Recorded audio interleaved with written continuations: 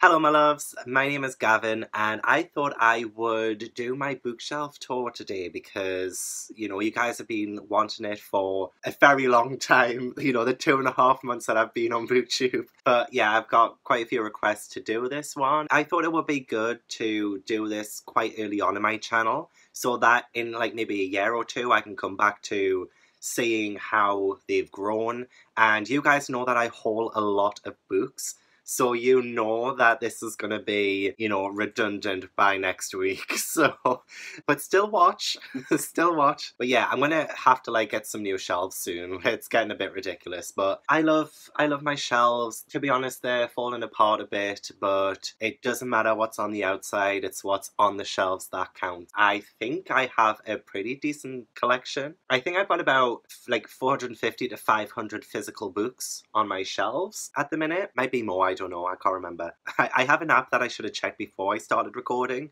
So I'll put the number up on the screen once I've finished and doing the editing so you can see how many like actually are on my shelves. I think I, I'll dive straight into it. I'll go through each shelf and why I've sorted the shelves out this way. I don't know how I'm going to film it to be honest because I've got my like ring light thing but like I can't it's not very high so I've always got to like plop it onto something so I can't just like stay a mobile on a shelf because it would have to be like really propped up and I don't know how I'm going to do that so I might have to just try and be as steady as I possibly can with my phone as I go through the shelves and like what's on each one. But I'm also not going to pick out each book and tell you all about every single book on the shelves. I'm just going to go past. I'm going to maybe pick out a couple that, you know, are special or if they have some kind of story to go along with them, maybe if they're signed, things like that. Like this is my bookshelf tour, but I think I'm going to start you off like over there because there's no like books on it. It's like 4K Blu-rays, but it's like it's it's a bookshelf. It's a little one, a nice diggy little one. It's got some things on the top that I want to show you. I have my Blu-ray shelves there as well. And but I will I will be doing mainly my bookshelf tour. So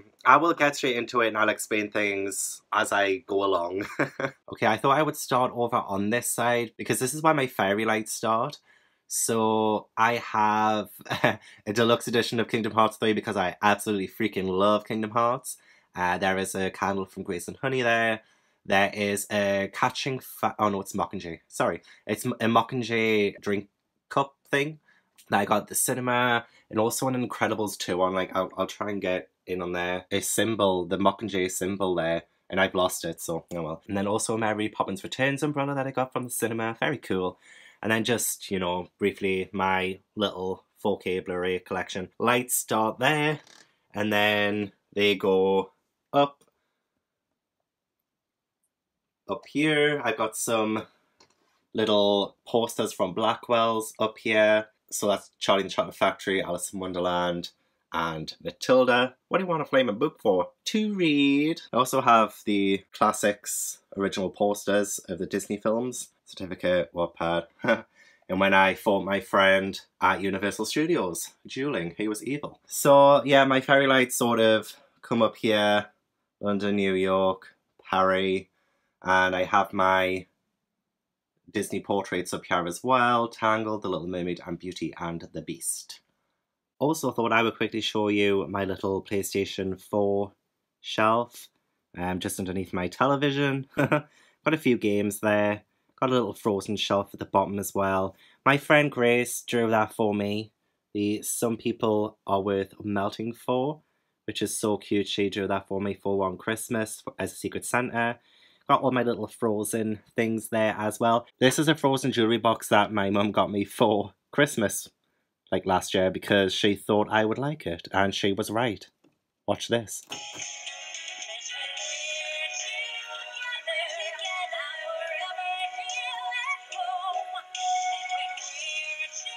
When we're together and warm, all matter where we are. If you're there with me, sing along, everybody. We're together, favorite place to be here. Oh, isn't that just incredible? Yeah, but it's like a little jewelry box. Oh, what's that? Oh, I forgot that was in there. Okay. But yeah, my little frozen shelf as well. And I have some PlayStation 3 games on the side there, which I don't play on anymore, as well as the Ni no Kuni Wrath of the White Witch Deluxe Edition thing with a spellbook. Awesome! I also have this too, by the way. Just absolutely freaking love Frozen, don't I? And then just quickly, these are my Blu-ray shelves. I have a tight crap. Oh, the the lights are going to be shit in this video, I tell you. I have a limited edition Titanic thing there. Willy Wonka the Chocolate Factory, Bond. No, not that I really watch them. I Am Legend, A Wizard of Oz, that is also limited edition. Can't say uh, 242,061 of 243,000. Uh, Friends, Seasons 1 to 10, Goonies. Got all my Ultimate Edition Harry Potters up there. Uh, the first two are extended, the rest, not so much. Uh, but yeah, all my Disney classics. Well, most of them. I've got some on the 4K shelf as well. Uh, going into Pixar and then Disney live action slash random animated ones. Marvel, Studio Ghibli, which I've lent a few out to my friends. Ever since my Ghibli-a-thon, I've gotten them into the uh, movies.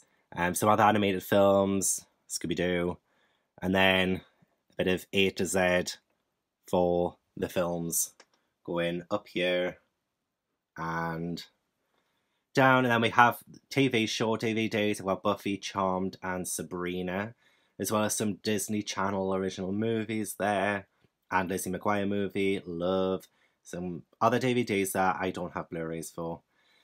And then down to the TV show Blu-rays, which I got Game of Thrones seasons 1 to 7, there, and to be honest, I don't want season eight.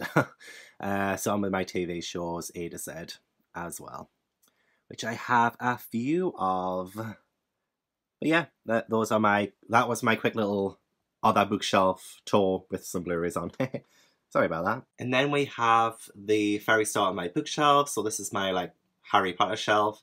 Most of those are first editions. I think apart from the third one, which coincidentally was the first ever Harry Potter book I got, but it got lost, so I had to rebuy it off eBay. But it's not first edition, the other ones are.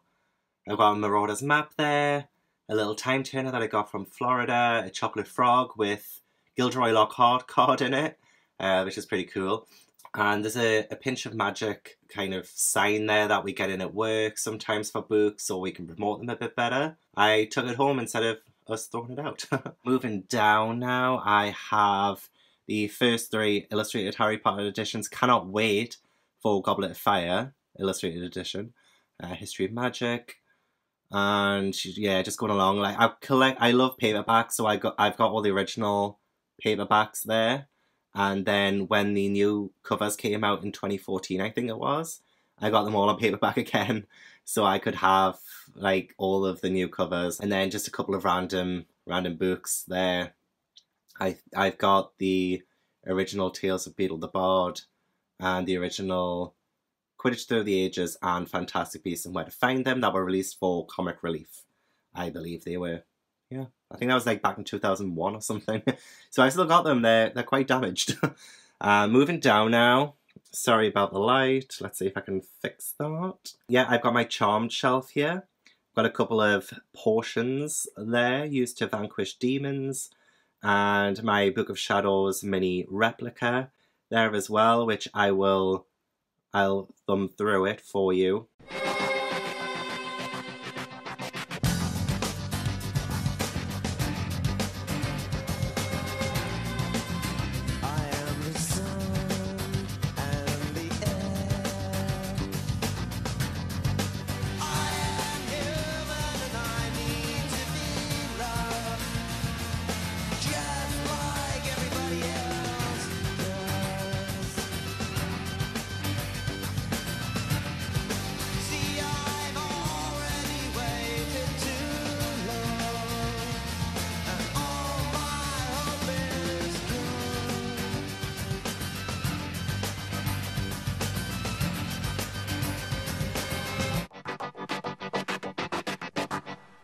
But I think I've read most of these. I I definitely read all of the books featuring Prue, but for the other ones, I think I I was rereading them all, or at least like starting from the beginning. Like, God, this was like 10, 12 years ago maybe. And I think I got halfway through like the page books before I kind of stopped.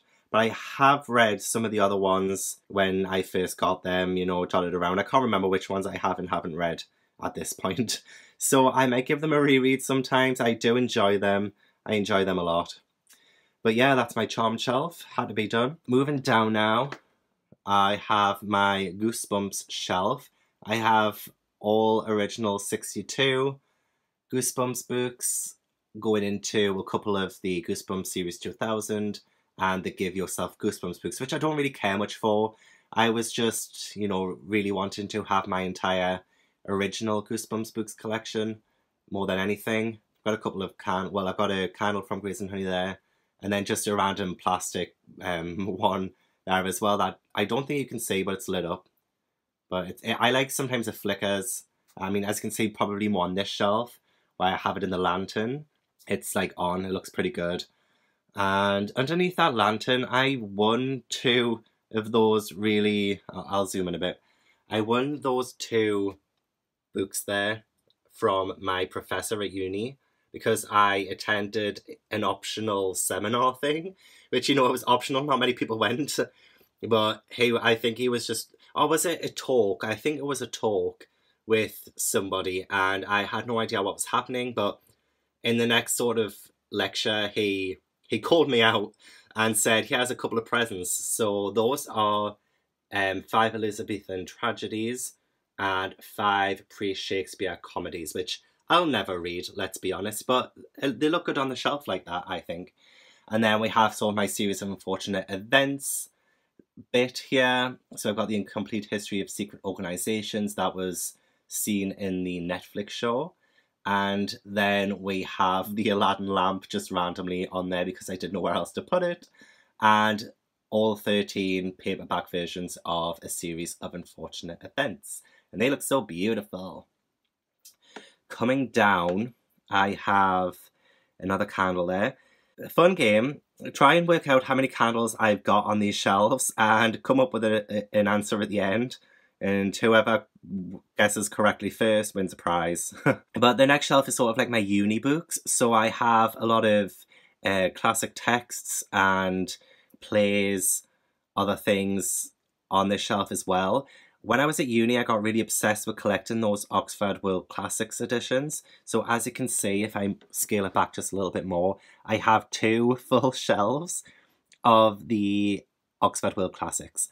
So have I read them all? Absolutely freaking not. Did I need them all? Absolutely freaking not. But I I really enjoy, you know, sort of having them and I love the way they all look together. I have things like The Wonderful Wizard of Oz there, all of Jane Austen, uh, Lewis Carroll, Charles Dickens, Elizabeth Gaskell, H. Rider Haggard, and and other ones there as well, you know, just some really great old books, you know, from the Victorian period, from the Renaissance. I've read, I have read a few though because I did need to read them for uni. I definitely wanted to collect a lot of the Gothic books, so I have Ann Radcliffe's books there. She is a fantastic author. She pretty much high geared the Gothic genre. She is pretty much not exactly the founder of it because Horace Walpole did like write the Castle of Otranto, and that was that's considered the first Gothic book. But Ann Radcliffe definitely sort of re like kicked the genre into high gear, and her books are awesome. Those are my well, were my uni books and things like that. So, and I also did a ghost story course as well, very briefly. So I've got a couple of ghost stories wedged in there as well. Oh gosh. On the other top of this shelf, I have a couple more candles. I have Phantom of the Opera and there are other Gothic tales in there as well. I have Edgar Allan Poe and Priory of the Orange Tree, as well as a little frozen Christmas ornament just up there just because. Um, I will go on to the next shelf as well because I'll explain why in a sec actually. This is my sort of Song of Ice and Fire shelf. it's I just need one more of those leather bound editions, but it's gonna it's to end up covering that beautiful sign, isn't it? So that's not good. So those are the four hardbacks right there together. And then I have all the paperbacks stacked up there with the candle on top. I have Fire and Blood with a Dracarys candle right there as well. Now for the rest of these books, I have them all like sorted. So I have sort of like, they go around like this and along rather than this shelf is all sort of to do with, you know, series, series, series kind of thing. Um, but this is like the kind of A to Z-ish part of it. I'll explain because I do have them in height order. So I have large paperbacks and hardbacks at the beginning before I start my A to Z of general paperbacks. So that, that I mean, the Shakespeare book should go on the uni shelf, but it's rather large. So I put at the start there with, you know, my comic books, which aren't a lot, aren't a lot at all. And then we start with sort of A to Z in hardback and large paperbacks. So it goes along like this. I don't really read Skulduggery Pleasant, but the author did a signing at Newcastle and I got them signed. So that's pretty cool. Yeah, so just working along, you know, I've got, uh, you know, like the paperbacks in with the hardbacks. Got all my Tolkien there, although it does carry over onto there. Tolkien, Silmarillion, Hobbit, Lord of the Rings, trilogy, and then the other works. I've only read these these four. And I only read these three this year, actually, back in February, March time, I think it was. Um, this is a anthology that I am in, so I'll take this one out. I wasn't going to do it, but yeah, this is an anthology that I'm in. See if you can spot my name. uh, this came out in May 2017, and it's Stories of Forbidden Love. My story in it is a Christmassy story called Fawn, and it's about a young boy who's 16. He gets taken to a cabin with his widowed father because his dad is ashamed of him being gay because he was recently outed at school. And it's a beautiful little Christmas story. It is signed by some of the authors because I met them in Canada a couple of years ago as well, so that was pretty cool. That's signed. Jack Lee Wilson, got a little bit of Jack Lee Wilson. See what I mean about Horrorstör? I mentioned it in my book haul, but it's it sticks out like a sore thumb. This is uh, my adventures with Alice in Wonderland. My parents got me this when I was a kid, and they like the company that did it. They put you in the story as well as like anybody else. So it's me meeting Alice in Wonderland, and it's really it's really bizarre, but I've I still have it. Uh, that's signed by Susan Hill. I have this is I don't know what that is. Uh, this is my only face out. I did have a lot more, but because I do get so many books, I've had to sort of put them on their side. So that's just me trying to save space. That's signed. That's signed. Um, that's signed by Darren Shan. That's signed by Angie Thomas. And then moving down onto this shelf, there's not really that much to say about these ones, I don't think. Uh, but yeah, it's like it's still going in height order. So this is B because the other ones are a bit bigger. So now these ones are all like similar height. So this is going in alphabetical. And then we have the Disney hardbacks there. Frozen, Aladdin, Hocus Pocus and then a few bigger, hard, bigger paperbacks. These are a couple of anthologies. I'm in the first one. This was published when I was 14, and there was a secondary school competition to for all of the secondary school students to submit a short story, and I am in this one. I don't know. I'll I'll see if I can like locate it straight away. I remember what it's called. It's called Vanquished, just because I was like in such a charmed charmed mood. Vanquished, vanquished. You know what? Let's check the contents page. Okay, so I found it. there it is. Vanquished. You're not reading it. Uh, there's my name there. Joseph Swan Comprehensive School. It was on page 88 and 89. But yeah, it's honestly such a terrible, terrible story. I don't know how it got in. it is really bad. Never, never look it up, please. So yeah, some more hardbacks there. I think that's signed as well. I think that's signed. And that might be signed. I need to go through these again, but I know a couple of the Matt Haig books are signed. Signed. Um, Yeah, and then the three very low hardbacks that I have are here. And then I start my A to Z with Ben Aaronovitch And just, you know, coming along here. I'm going to try and unhaul this because I really, really hated it. Uh, I don't like it on the shelf, so I'm going to get rid of it. Um, the Louis Barneveld series, which I think are being re-released in these nice covers that all match. So that's pretty good. Just going along there. Some of my Roald Dahl books, which I'm hoping to get a bit more of. Coming soon. Um, that's signed. Some Neil Gaiman, another candle there.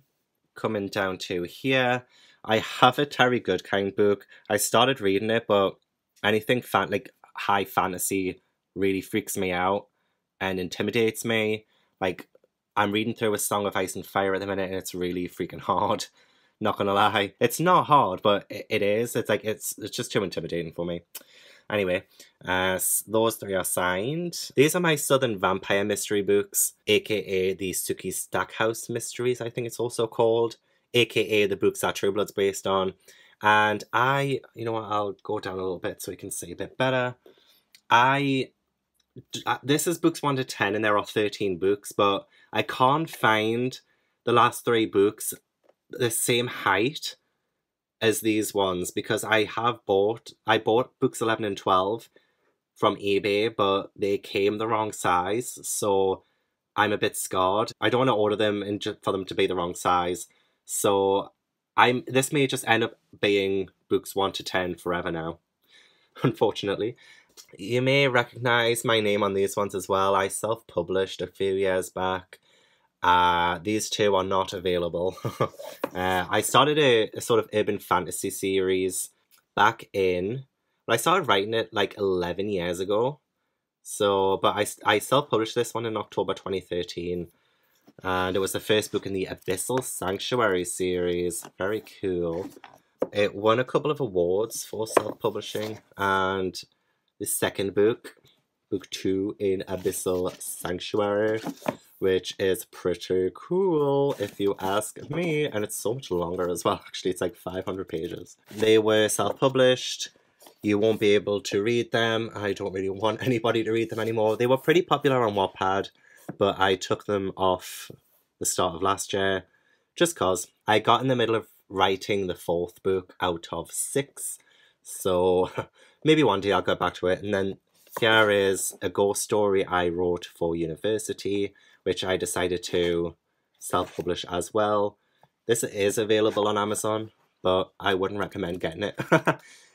it was it was written for university. It was we were supposed to pick an author and try and imitate imitate their sort of writing style, but make it your own kind of thing. So I picked Susan Hill, and then I wrote a ghost story set in the eighteen hundreds in the Lake District. So that's pretty cool. So I've got all my Christina Henrys there. I've only read one of them. Wasn't really that bothered by it. Go moving along. Oh, bloody loved Eleanor Oliphant is completely fine. Don't know why I've got that book. Oh, also, I should probably say um, the back of the bookcases are really bad. So they're actually not, like, they have to be brought forward, otherwise they'll go right through and they'll not be in line. So I have to do that. Um, my friend wrote these she gifted me the third one last year when it came out, which was really awesome. Love a bit of Vic James. Okay, so talking lonely. Okay, so starting with my Stephen Kings, I have the all of the Dark Tower series. Never read them. Um, it's a shame because the last book is there, and you know it's it, it all matches on the side, so it's a it's a bit sad that I can't have them all together anymore. But I decided to put the series first and then all of Stephen King's standalones next, kind of thing. Although I, I'm really lacking in the Stephen King department. So I only have like Cujo, Devil's Game, It, Misery, On Writing, Pet Sematary, and The Shining. But On Writing is non-fiction, so it doesn't really count that much. But oh well. Uh, but yeah, uh, moving on, moving on. So I have a bookmark. Where am I? Where am I pointing? My finger's down there. What am I doing? I have a bookmark in Poppy War because I was reading it last month. but I will finish it at some point. Same with Cujo. That will probably read that sometime. I don't know. Uh, but I have my Throne of Glass books there. Never read them, but I've got them. And I put the Assassin's Blade there. I, I believe that's a prequel thing. I don't know about Tower of Dawn. Can somebody explain why Tower of Dawn, like what it is? Because I've heard conflicting things. I heard it's the sixth book in the series, but also it's like not. So I don't know. I, I'm confused. There's my mage candle, which I keep lighting because it's so amazing. But I don't light the candles next to the books. Just FYI. So moving along, we have some more books. Those those are signed. Um, I have my Lunar Chronicles books there with another candle on top. My Twilight books, I've only ever read the first one, didn't like it, but I still have them all. Honestly, what is my life? Um, I have some Michael Morpurgo there. I'm trying to start my Worst Witch collection. I have um, Ali Novak's books. She's another friend of mine. Alice Oseman, I've got some of her books as well. And getting down onto this shelf, I have the Dorothy Must Die series. Which sign is signed? Like this is a children's book, Oksa Pollock, but it's kind of translated, I think. It's like a foreign book. I don't know, like it seems really weird. I have these are my friend Beth's books, Kissing Booth, Out of Tune, and Rolling Dice. She got her story Kissing Booth on Netflix last year and she signed it for me. I love her so much. She is awesome. But yeah, those are her books. Gotta support your friends, you know. Um, Evelyn Hugo, recently read, recently freaking loved. Now we have Rick Riordan. Uh, a lot of his books, Percy Jackson series, Heroes of Olympus series, and I was starting this, like collecting this series, but I didn't. Oops. Um, yeah, got these three. Only read the first one. It was alright. Yeah, Seventh Born, my friend's book as well. Monica Sanz. She's got a sequel coming out soon. Great book. I read it last year freaking loved it. But again, like, can you see like the gap at the back there? Like, but it has to because like this part is secure, so like can't go further back. But the rest of it, like if I do this, like you know what I mean? It's oh, that's just so stupid. I really want you bookshelves like so badly. Somebody gift them to me, please. I don't know where all my Darren Shan books are gone as well. That's the only one I could find. Um, started with the Pretty Little Liar series, but I don't think I want to read them, to be honest. Of course, my friend Rebecca Sky, her books as well, that's signed. Next time I see Rebecca, she's going to have to sign this one for me. Uh, started the Vampire Diaries books as well, but I don't really want to finish reading them. I think I read the first four of the original series. I think I read the original series, but I didn't start off with the return, and then I just stopped collecting them because I just couldn't be asked. Um, Another candle, a couple more books there. Beyond the Deep Woods, Edge Chronicles, man. What a classic. One of the bottom shelves here, which I hope you can see nicely. I think on the come up is signed. Of course, we've got these. That's This is signed by a few Wattpad authors I met in New York and Canada. Uh, Nevermore. Nevermore. And, yep, Sarah Waters. Another one that's signed by a couple of Wattpad authors. And then I have like my old Jacqueline Wilson collection. I have a lot more, but again, like I've lost them. I don't know where they are. But I had a few hardbacks. I had like Best Friends and some of the Girls in Love books and stuff like that. And then I have end with like Ghost Whisperer books because I was obsessed with that show as well. But there was only like three of them, and then a guide, and then another candle. On this shelf here are my proof copies that I've I've gotten recently.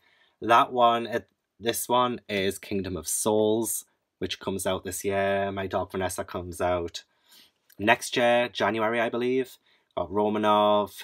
Ghost Factory's out now, I think, so is Romanov. Uh, Frostheart, that comes out soon. The Land of Roar comes out in September next to it as well.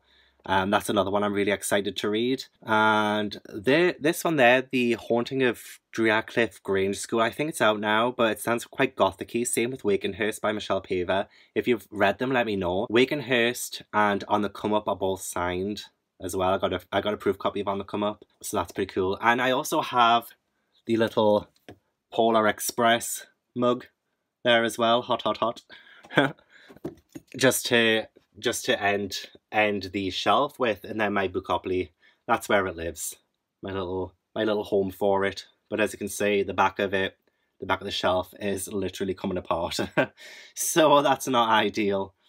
But yeah, I think that's pretty much pretty much my bookshelves. So that was my little bookshelf tour. I'm sorry it wasn't a bit more professional. Um, I genuinely don't know how I was supposed to record this, you know, and keep it still, pull books out, things like that. I don't think you guys really want to see me pulling all the books out, but I did want to show you a few of them and just talk a little bit about some of them. It means that now I've set the bar pretty low for my bookshelf tours. The next time I do one, I can just absolutely smash it out the park. If people have done bookshelf tours, please let me know how you did them so I can learn and grow. But you know, I'm, I'm still fresh blood, I'm still new. So that was the tour, that was the little tour there. So I hope you enjoyed it. Leave me a little thumbs up, leave a comment on your thoughts on this little tour. I know it was shit, you don't have to tell us that. Be like, oh Gavin, this is how you can improve and that would be helpful. Yeah, let me know what you think. Hopefully you had a blast. I know I did. So thank you so much for watching.